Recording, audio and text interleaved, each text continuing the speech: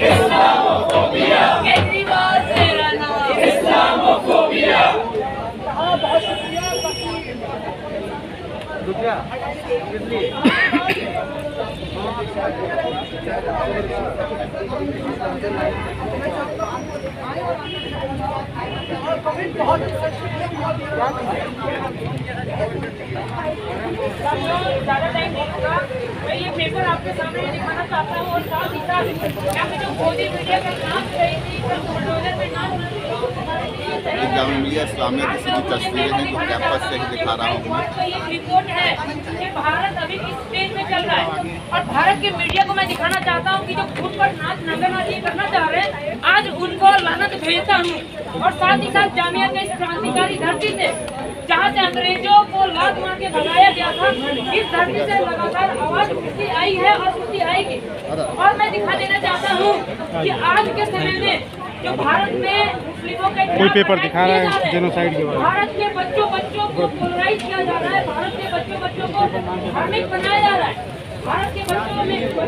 ये सीधी तस्वीरें जामिया इस्लामिया एक नंबर आठ से ये तस्वीरें हम ग्राउंड ज़ीरो से ही दिखा रहे हैं। जामिया इस्लामिया की सीधी तस्वीरें हैं एक नंबर आठ से ये तस्वीरें